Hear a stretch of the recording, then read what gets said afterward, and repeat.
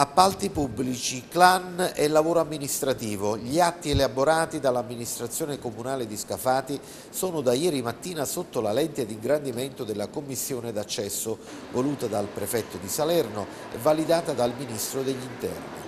Tutto è nato dalle indagini dell'antimafia che avrebbero visto infiltrazioni camorristiche nella gestione di Palazzo Maglia. Mentre le opposizioni continuano a chiedere le dimissioni del sindaco, Pasquale Aliberti si dice convinto che il lavoro degli investigatori porterà ad un ulteriore momento di chiarezza.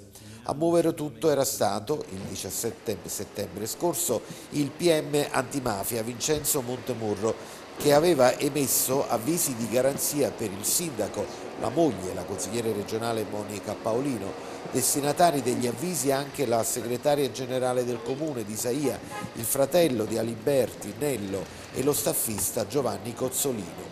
Per tutti l'ipotesi accusatoria che vanno dall'associazione di tipo mafioso allo scambio elettorale politico-mafioso alla corruzione con concussione e abuso d'ufficio. Nel mirino il sistema degli appalti pubblici, tra cui quello del polo scolastico e la riqualificazione dell'area ex Copmes, ma non solo, nel mirino degli inquirenti anche i lavori di riqualificazione stradale, appalti e determine che passeranno ora sotto la lente di ingrandimento della commissione d'accesso.